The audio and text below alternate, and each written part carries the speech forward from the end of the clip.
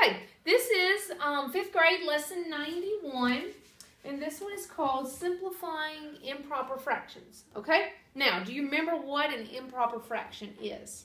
It's where like it's six over one or something. Okay, six. Let's just change the one, but just because um, that makes the six whole. So the top, the numerator is bigger than the bottom, right? The Denominator. denominator, right? Very good. That's an improper fraction. Okay, so what we're going to learn how to do is to make improper fractions proper and then reduce them. Basically. Okay. Okay? And so that's called simplifying improper fractions. All right? Now, let's say we had a box of pizza and another box of pizza. This one had this much left in it. okay? And this one had this much left in it. Okay?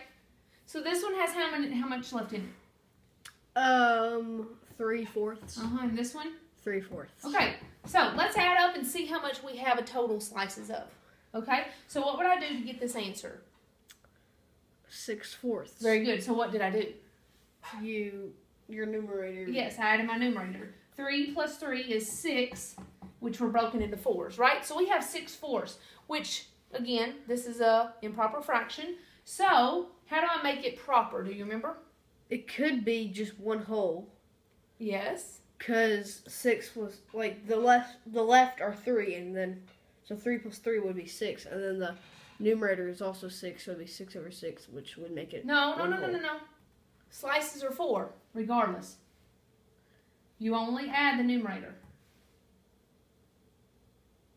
oh Okay? So the answer is six, so which are sliced into four sections.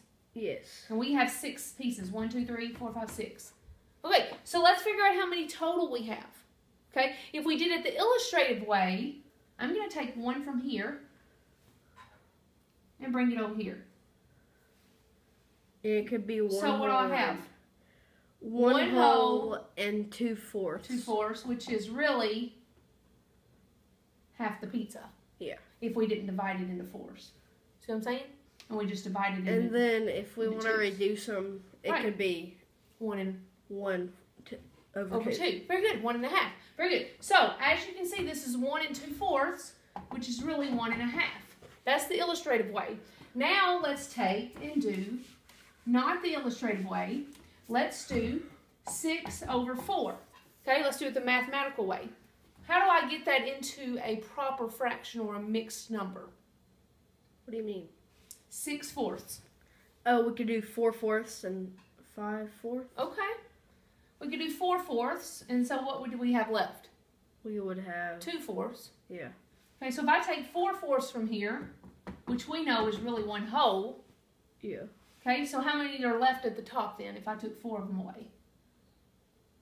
uh it'd be two right Two fourths, right? So this would be two fourths. So I have one whole and two fourths, and then when we reduced it, it'd be one and a half, right? Okay, now, there's actually a mathematical way, which you kind of did it just in um, common sense way, which is really good. Okay, but what I want you to see is if this said six fourths, this actually says six divided by four.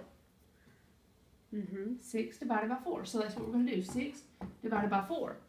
4 will go into 6 how many times? 1 whole. 1 times 4 is 4. Subtract. We get 2 left over. Bring it up. Slide my 4 over. It's 1 and 2 fourths, and then Which- reduce which reduces one to 1 and a half. So no matter how we do it, if we use the common sense way, the illustrative way, or the mathematical way, we still get 1 and a half. Do you get that? yeah Okay, but this is the mathematical way, and that's what I want to get you to learn how to do. You got it? So, how much pizza do we have left? We Okay. have one and a half We have one and a half pizza left. Right, very good. Okay, now there. Here's what the equation says. Write eight sixths as a reduced mixed number. Okay, what's reduced mean? Bring it to the lowest amount of Yeah. slices.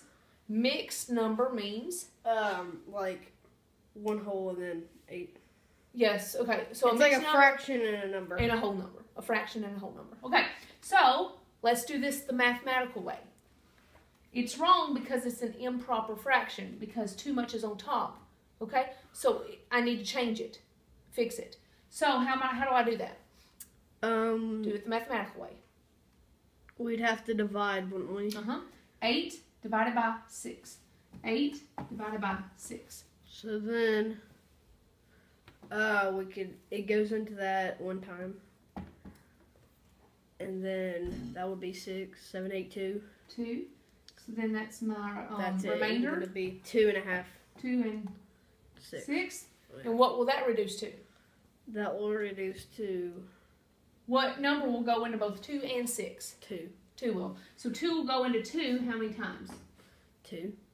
2 Oh, two and two, going to do one time. one time. Okay? And 2, I mean 6 divided by 2 would be Um, 6 divided by 2. that's uh twelve. No, that's that's uh multiplication. Um, Yeah. 2 times what equals 6? Two times three, Very good. So 6 divided by 2 is 3. and then So- one third. It's really 1 and one third. Okay, because we had the one whole And then you and put the little dash in between. 6, which reduces to 1 and one third. You get that? Mm-hmm. Okay? So that's what you're learning how to do today.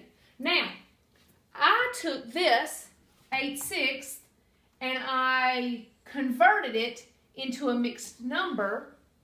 Mm-hmm. Then I reduced it. So I took this number and converted it first, and then I reduced it. Right? But did you know what? You could reduce it first and then convert it. Watch. I'm going to reduce these two numbers to start off with. Okay? So what number will go both into 8 and 6? Um, two I know will, Two. but I think it No, higher. no, 2 works. Okay? Okay. 8 divided by 2 is Eight divided by two. That means two. What goes into? Wait. 8 divided by 2. Oh, that'd be four. Very good. 6 divided by 2. Uh, three. Very good. Okay? Will a number go into both 4 and 3? Yes. What? Two. Right. 2 will Wait, go what? into 3. What, what are you saying? What are you saying? Will this reduce anymore? Oh no. Okay, so we reduced first this time. Now let's convert. 4 divided by 3. 4 divided by 3. Remember that's what that says. 4 divided by 3. So then 3 will go into 4 one time. 1 times 3 is 3. Subtract. Bring it up. I still get the same answer. Mm-hmm. Okay, so whether you want to convert it first and then reduce it, or reduce it first and then convert it, doesn't matter. I actually like to reduce, or I like to convert first and then reduce. Okay. That's just my favorite way to do Mhm. it. Okay, so it doesn't matter how you do it, you can choose. Okay, Okay. you understand? Yes. Okay, now I'm kind of moving a little fast. I'll, I'll try to slow down for a minute. Okay, it says to add one and seven eighths plus one and three eighths. Okay, so help me out here. What do you add on the fraction side? What do you mean? How, how do I perform the fraction part of this? How do I Oh, add you this? just do the numerators. Okay, so let's do that. 7 plus 3, Uh, eight, nine, ten. 10. And what do I put on the bottom? Eight. Okay. 1 plus 1, Two. 2. Okay, now this is our answer, but is it completely simplified? Um, no. No, what's the problem? fraction. There's an improper fraction. Good job seeing that. Okay, so what we're going to do is I'm going to move this away for just a minute. I don't want to forget that I have my 2 here, though. Okay. Okay, so um, let's take this 10 eighths, and how am I going to make it into a proper fraction? You'd um divide it right. Okay, Ten divided by eight. very good. 10 divided by 8. 8 will go into 10. Um, One time. One time. 8 times 1 is 8. Subtract that, I get 2. Bring that up, slide that over. 1 and 2 eighths. Okay, so don't forget I have this 2 here. So I have 2 whole plus this 1 and 2 eighths. Yes. So tell me what my answer is so far by doing something with this and this. Uh, Remember, because I'm just three and two eighths. Three and two eighths. Now, is that the final answer? No, Okay, what else do I need to do? we can still reduce a little We can more. reduce. Very good. You realize that. What number will go into both two and eight to reduce it? Two. Two. Let's do that. Okay, two divided by two is one. Eight divided by two is four. All right. So should I forget about this three? No. No, don't want to do that. Three and one fourth is our final answer. Okay. Okay. Good job. So we don't reduce the whole number. What do you Do mean? we never reduce that? No, whole numbers don't reduce. Okay. No. Good job. All right, and that is lesson 91.